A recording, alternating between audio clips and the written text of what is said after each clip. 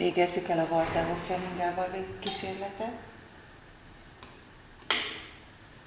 Látjuk, hogy a alumíniumlapot lefékezték az elektromágnesek. Ha kicseréljük az alumíniumlapot egy olyanra, amin bevágások vannak,